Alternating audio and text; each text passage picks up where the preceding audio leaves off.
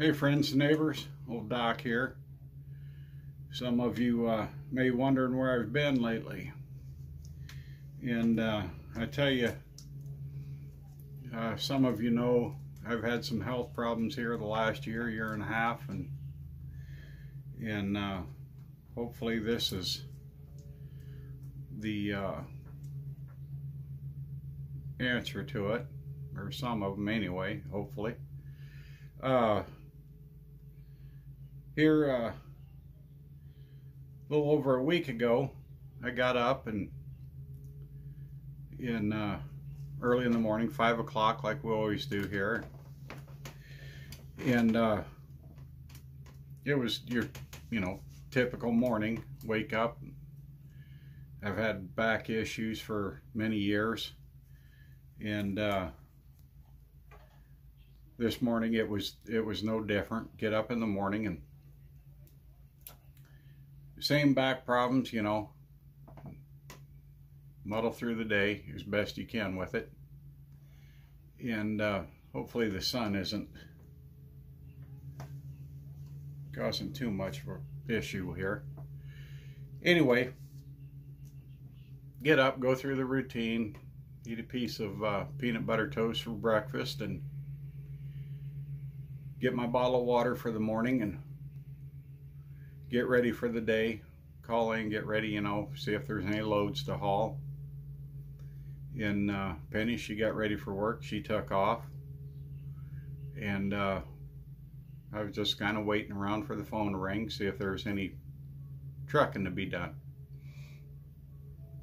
And uh, as the morning went on, the back pain got worse and it had spread. It didn't move, it spread around my side, into my abdomen, and down into my groin.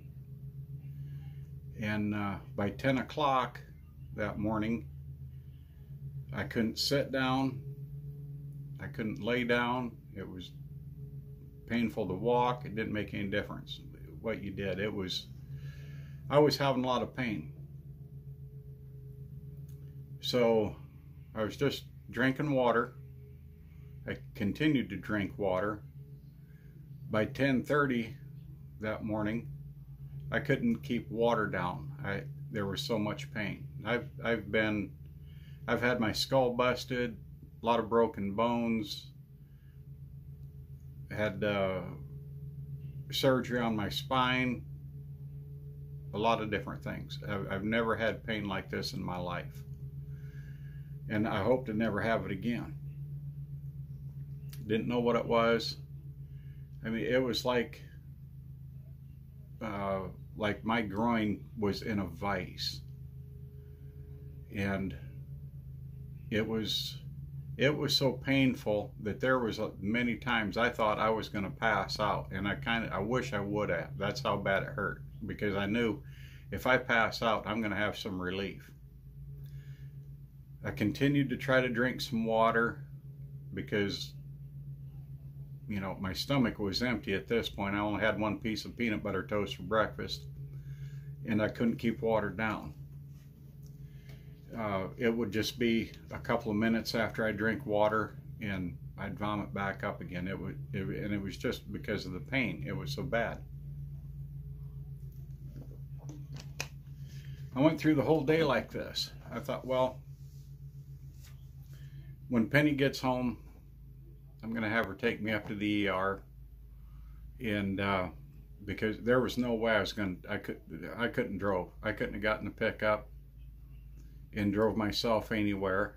And I wasn't going to call an ambulance, you know, and have that. I don't know what it cost for an ambulance ride. Anyway, I wait till Penny gets home that evening she came in the house. I told her, I said, you got to take me to the ER. I said, something is bad wrong. Now I've had this pain in my back and down in my groin off and on for a year and a half. And there's there's days where it just it wasn't as bad as it was this time, but it would come and go and sometimes lay you up for a day or two. So we get up to the ER just before five o'clock. and get checked in, which you know doesn't take long. They just give you a little card and uh, pretty much your address, who you are, you know, where you live. That's pretty much it. There was a handful of people there. No big deal. Didn't think it was going to be very long. Well, shortly after we get checked in, there's some little teenage chickie do in there that decided she was going to throw some kind of a tantrum. I don't know what her issue was. She didn't appear to be hurt other than a screw loose. Well, her little tantrum shut the ER down. So they have hospital security there and they're trying to talk to her, get her calmed down, and she's just having a meltdown. I, you know, I don't know what the deal is if she lost her little pony or whatever.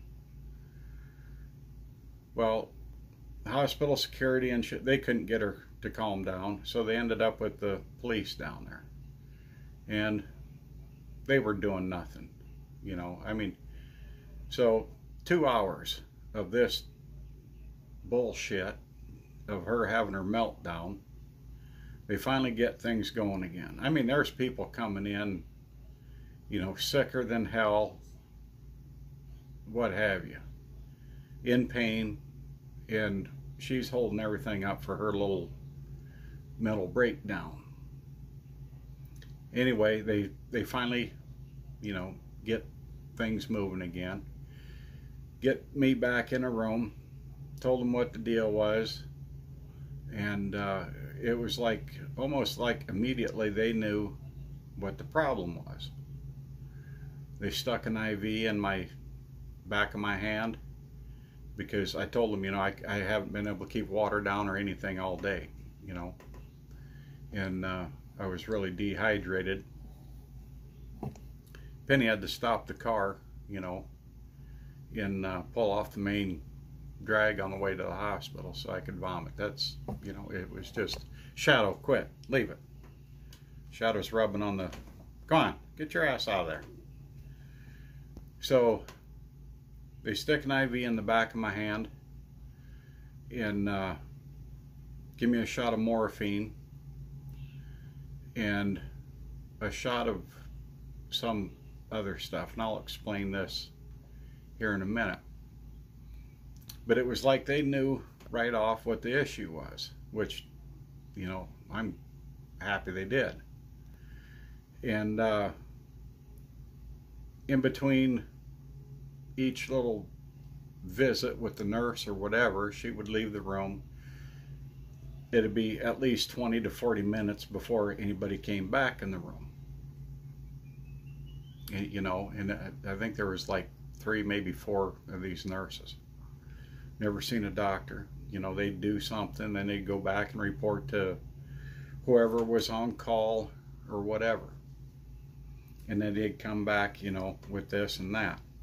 Well, they ended up, they took a couple of quick CAT scans, only took a few minutes, and uh, took a couple x-rays, only took a couple minutes, but, you know, time is passing in between. And come to find out, I had three large kidney stones that had broke loose. And they were trapped um, like this is your kidney. There's a tube, I think it's called the ureter, something like that. That tube goes from your kidney down to your bladder. Well, these three large kidney stones were trapped right at that tube. Well, the second injection that they gave me, I, I can't tell you what it was called, but it is to expand or relax that tube that goes from your kidney down to your bladder and uh, in hopes of passing these kidney stones that had come loose.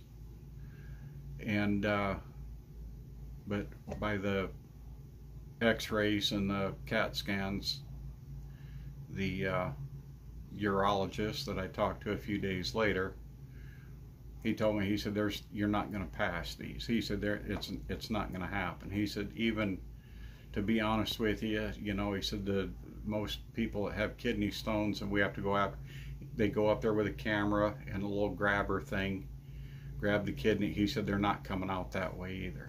He said, uh, the only option really that we have is, um, I'm going to try to say this correctly. If I don't, you know, don't leave some stupid comment. Uh, lithotripsy, I believe it's called. And uh, so that's what I had done. And what this does, it's almost like a uh, X-ray machine where there's a, you know, the you're laying in here, but there's a top and a bottom to it, and it moves. This machine moves around you, or it can move. They lay you on the table and uh, it gives the doctor a live picture so if the stones move as they're giving you this treatment what it is is a shock wave treatment it shoots shock waves through your body and in hopes of breaking these stones up then you can pass them down through that uh, two millimeter tube that goes from your kidney down to your bladder. That tube is only two millimeters. So two millimeters doesn't sound very big, but if you have kidney stones that are much larger than two millimeters, trust me, you'll feel it and you'll realize how small two millimeters are. So I get in there uh, Monday Penny took me out. Uh, they put me under anesthesia. I've seen videos. I've done a lot of research on kidney stones since I got back from the ER. Um, some places, they just give you something to relax you. I don't know, you know, maybe those people don't have very big kidney stones. They can only shock you so many times with this uh, machine. They call it shocking you, but it's a shock wave. It's not shadow. Stop it.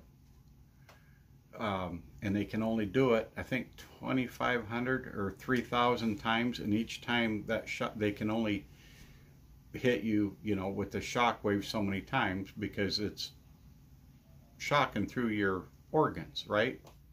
To break up these stones. So uh, they they put me under. Sometimes they run a uh, a stent up through your bladder and up to your kidney to help these uh, stones pass once they get broken up. Luckily, I didn't. They didn't think it was necessary, so I'm fortunate that way. I don't have to go back and have a stent pulled out because the stent causes issues, you know, uh, passing blood near urine and stuff until the stent comes out. These stones, they're rough. And uh, I know that for a fact because I had this, these three stones broke up uh, Monday morning. Yesterday morning, I started passing a few stones, bits and pieces. Uh, two of the bigger ones were the size of peppercorns, and they're rough. And, uh, oh, a little stab in the back pain there. Um, on down to like pepper flakes. So I finally started passing these stones and uh, these peppercorn sized ones it didn't hurt per se to pass them. It, I'm uncomfortable. Yes, it, it, it, was uncomfortable, but it wasn't painful. Um, you go to urinate, you know, and everything's going fine, and then you it, it just suddenly stops, and you're like, well, I know I'm not done, you know.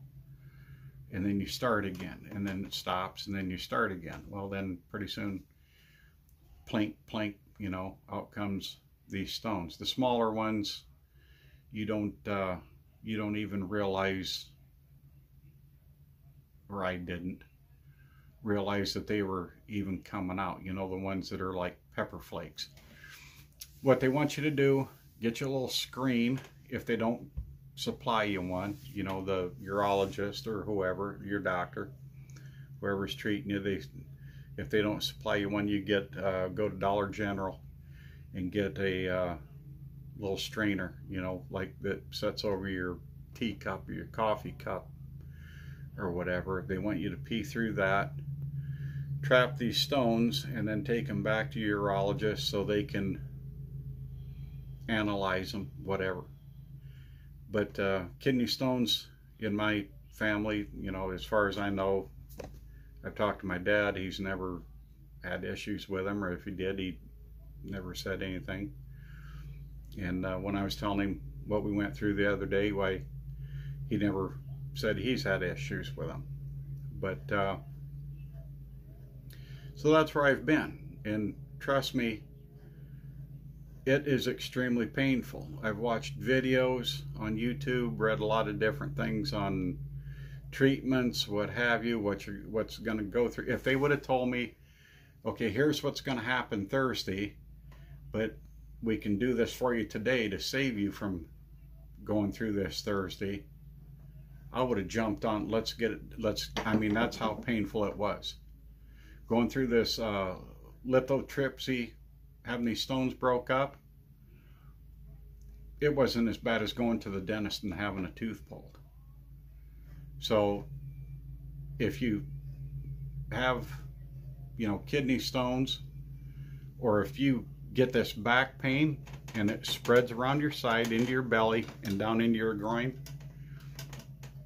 like I said, they knew at the ER, you know, right off the bat what, what the issue was or it seemed they did. So, but I would not hesitate to go and, and have this uh, uh, treatment done again. Just knowing the pain and stuff that I went through. And I'm still having a little issue. I didn't sleep all the first night after having the uh, the treatment done. I did have a sore throat you know, clear down here, and it wasn't from being intubated or anything. All they they just had an oxygen mask on me. But what it was from is that those shock waves going through you.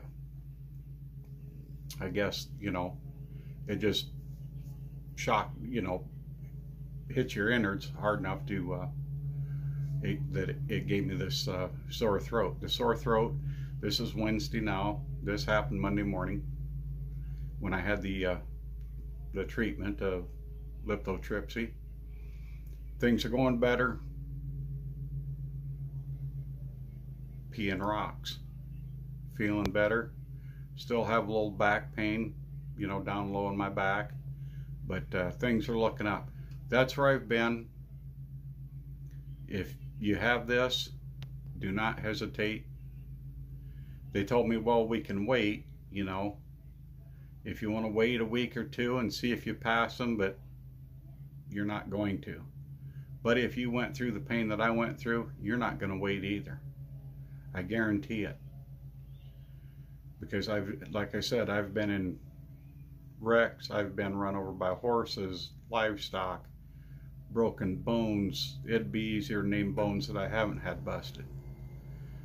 And I've never, I, the spinal surgery I had, it hurt for a long time, but it wasn't it wasn't hurt like this. This it was painful. So if you go through the same type of pain, lower back, spreads around your side into your belly, down into your groin, and uh, luckily I didn't have any fever or anything like that. So, you know, uh, go and get it checked out and uh, don't be afraid of having this treatment done because believe me you go through that pain the uh, the cure is a lot, lot easier than than having an hour's worth of that pain. An hour's worth. So that's where I've been. I've been trying to keep up on everybody's videos. Um, I'm not allowed to drive for a few days. So because the anesthesia or whatever still kind of got me off my pins. You have to be careful standing up. Even when I go to turn around, uh, I get really dizzy and about keel over. I'm pouring down as much water as I can, not as much as they recommend. I mean, even on a hot day when I'm working and sweaty, I can't drink that much water, but I'm doing what I can to get shed of these rocks. So that's where I've been. Hope you're all having a great day. Still isn't raining. Send rain if you got any extra. We would really appreciate it. have a great day. Be kind to each other. I still have other videos I want to do and get out. I still have a couple of uh, my poem videos. If you like my poems, I still have a couple of those. My better, my best ones that, to me anyway. Uh, I still want to get them done before this fall and get them out. So, and other things, you know, back to working on uh, the tractors and what have you. Matthew, he's done with his uh, apprenticeship for the summer. He just went back to school and uh, started classes again Monday, so he's back in Norfolk. Him and um, some of his classmates and friends, they uh, rented a house. So hopefully it's not an animal house type deal. Um, so anyway, that's where we're at. Have a great day. Be kind to each other. Do something nice for a friend, a neighbor, a loved one, or a stranger. Take care of yourselves and check out. You would be surprised at the foods that are healthy for you cause kidney stones. It, it's insane. You know, you think these foods are healthy. They've been telling you they're healthy for years. Well, your normal everyday foods that everybody eats creates kidney stones. And a lot of videos that I watched, women, it doesn't seem like they're as susceptible to kidney stones as men. I don't know why a lot of the women videos that I watched, they said it, it was worse than giving child uh, birth, having childbirth. They said it was it was worse than having a baby. And uh, I don't know about that. You know, I know Penny. She had she had troubles. You know, with Matthew when he was born. As far as pain goes, okay. So I'm going to leave it here If you got any questions, do not be afraid to post them in the comments and I'll do the best I can to answer them. And uh, I got to do a follow up. I'm not sure when with the urologist. If there's any questions that I can't answer, I don't know. Uh, I'll be sure to ask him and I'll get back to you. Like I said, be kind to each other. Do something kind for a friend, family, stranger, loved one. Have a great day.